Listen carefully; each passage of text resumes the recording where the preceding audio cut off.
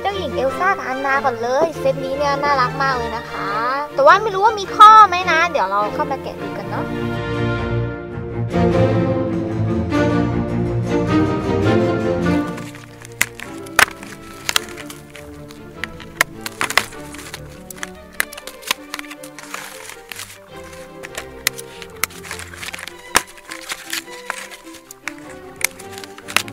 อ่ออกจากกล่องมาแล้วนะคะ เราก็จะได้ทั้งเจ้าหญิงเอลซ่าแล้วก็อันนานะ นี่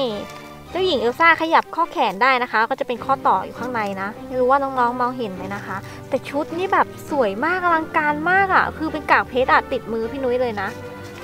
ให้ดูให้ดู อันนี้เนี่ยเขาติดมาแบบอย่างดีเลยนะคะ เดี๋ยวพี่นุ้ยจะแกะนิดนึงนะคะ นี่รองเท้าเขาสวยมาก นี่ อันนี้ก็แกะได้ด้วย ดูสิรองเท้าเอลซ่าน่ารักมากอื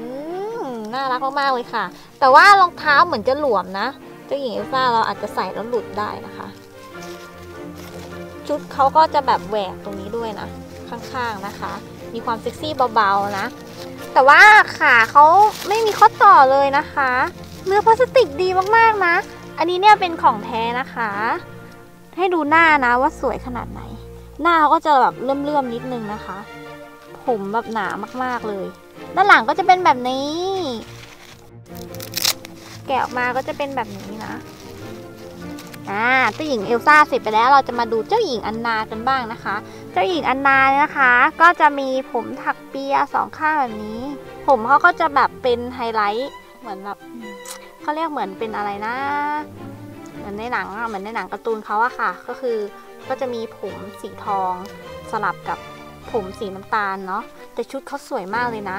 ชุดเขาจะเป็นเสื้อคลุมนะคะ เสื้อคลุมตัวนี้ก็แกะออกได้นะคะนี่อันนี้ชุดเขาเต็มๆนะ อันนี้เจ้าหญิงอนนาก็มีข้อแขนเหมือนกัน เนื้อพลาสติกดีมากบอกเลยนะเพราะว่ามันเป็นของแท้เนาะก็เลยดีมากๆเลยนะคะ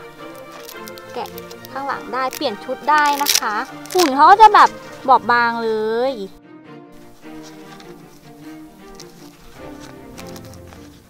ให้ดู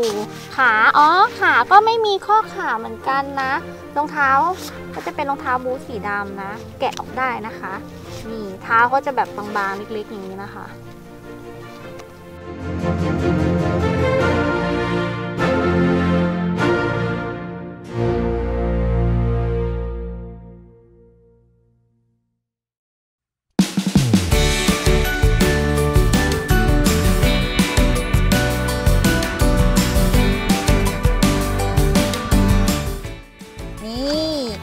เดี๋ยวเรามาแกะตัวมู่หลานกันก่อนเลยนะคะ โอ้โห หนาแน่นมากเลยนี่เค่อยดึงขึ้นมานะชุดมู่หลานสวยมาก ประตูนมู่หลานเนี่ย น้องๆทุกคนต้องเคยดูนะถึงว่าน่ารัก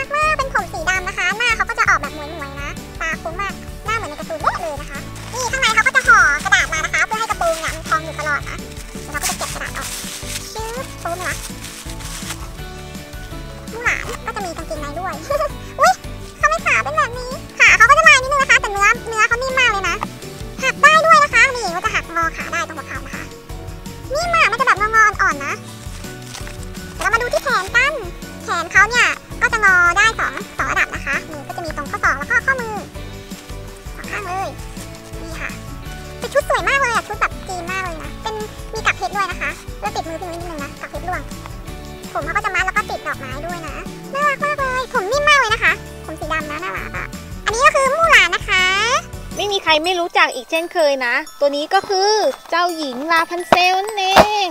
เจ้หญิงลาพันเซลเนี่ยเขาก็จะเด่นเรื่องของผมยาวนะคะ แล้วในการ์ตูนเนี่ยเขาไม่ได้ใส่รองเท้านะ คือก็เลยไม่มีรองเท้ามาด้วยนะคะเขาจะมีกระดาษซับเข้ามาข้างในนิดนึงนะเพื่อให้กระโปรงมันบานเนาะเจ้าหญิงลาบันเซลหน้าหวานมากนะผมน่ารักอะผมยาวแล้วก็นุ่มมากๆเลยนี่คือเราเล่นแล้วเราหวีผมเนี่ยเล่นได้เลยนะคะชุดเหมือนในการ์ตูนเด๊ะเลยนะ อันนี้เนี่ยก็จะเป็นรอยมัดมานิดนึงนะคะเท้าเขาก็จะเป็นแบบนี้ อแบบเหมือนตุ๊กตาทั่วไปแต่ว่ามันจะสามารถงอได้แบบงอข้างในแบบนี้นะคะน่ารักอะเจ้าหญิงราพันเซลเจ้าหญิงคนต่อมานะคะ อันนี้เนี่ยพี่นุ้ยก็ชอบมากเช่นกันนะ ก็คือเจ้าหญิงแอเรียลนั่นเองน่ารักมากเลยนะ มาในชุดนางเงือกเลยนะคะ ผมสีแดงโดดเด่นมากๆเลยเจ้าหญิงแอเรียลนะคะ ชุดก็จะเป็นแบบนี้นะ เป็นนางเงือกนะคะ เดี๋ยวเราจะลองแก้หางนางเงือกดูนะคะ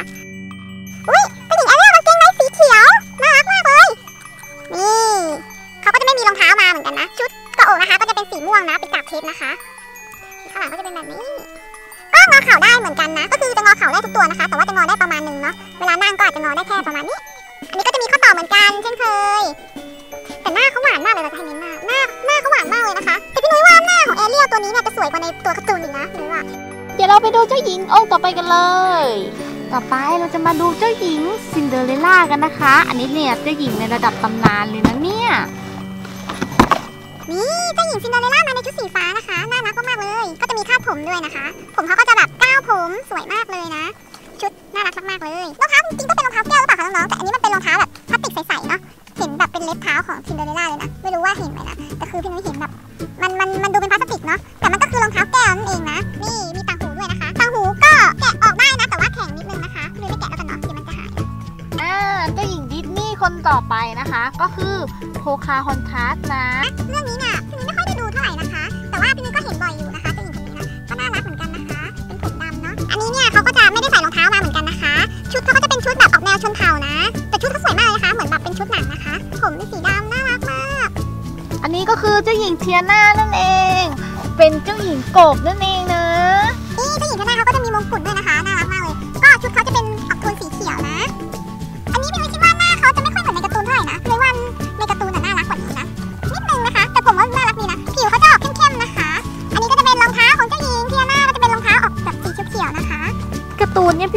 ไม่ได้ดูนะ พี่นุ้ยดูแค่หุ่นเดียวเองนะคะ ถ้าเทียบจากการ์ตูนตัวเรื่องอื่นๆนะ พี่นุ้ยจะดูแค่ครั้งเดียวนะพี่นุ้ยก็เลยจำไม่ค่อยได้นะคะ แต่ว่าเขาจะโดดเด่นตรงที่ผมเขาแดงนะ ลักษณะเด่นของเขานะคะ ก็คือผมแดงนั่นเองแล้วก็จะแบบหยิกๆฟูๆอย่างนี้นะแต่หน้าเขาสวยมากเลยนะ ก็จะเป็นแบบเป็นกะนะนี่ให้ดูรองเท้าของเจ้าหญิงเมอริด้านะรองเท้าเจ้าหญิงก็จะเป็นรองเท้าแบบไม่มีส้นนะคะสีฟ้าน่ารักมากเลย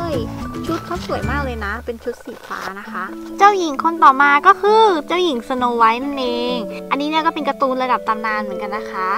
ทุกคนเนี่ยต้องเคยดูแน่ๆเลย แล้วก็ชุดเขาเนี่ยสวยมากแล้วก็มีเอกลักษณ์มากๆเลยนะ เจ้าหญิงสโนไวท์นะจุดเด่นเขาก็จะมีคาดผมสีแดงแบบนี้ แล้วก็มีคอปกแบบนี้นะคะ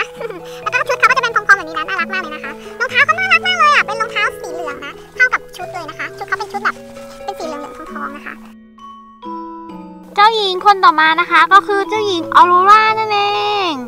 นี่ให้ดูนะคะว่าน่ารักขนาดไหนเจ้าหญิงออโรราก็มาจากการ์ตูนเรื่องเจ้าหญิงนิทรานะคะเขาก็จะมีมงกุฎนะอยู่ข้างบนหัว แล้วก็มีสร้อย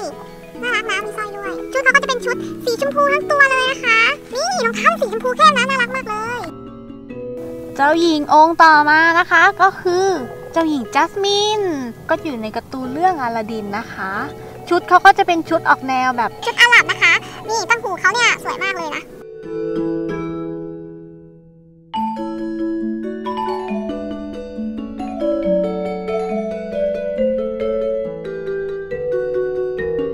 เจ้าหญิงองค์สุดท้ายก็คือเจ้าหญิงเบลนะคะ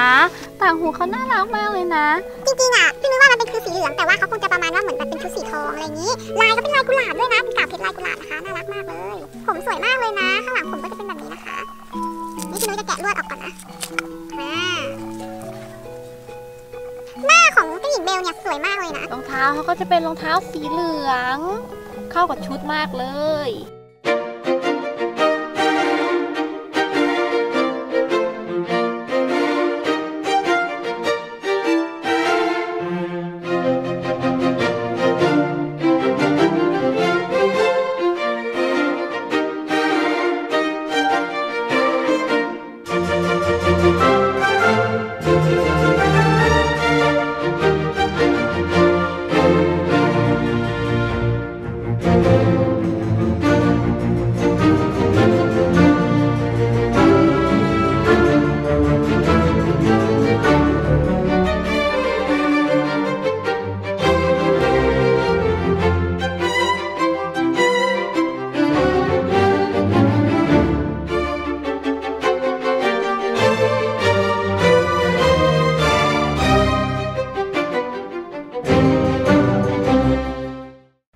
วิดีโอนี้ก็อย่าลืมกดไลค์ กดแชร์กันเยอะๆนะคะ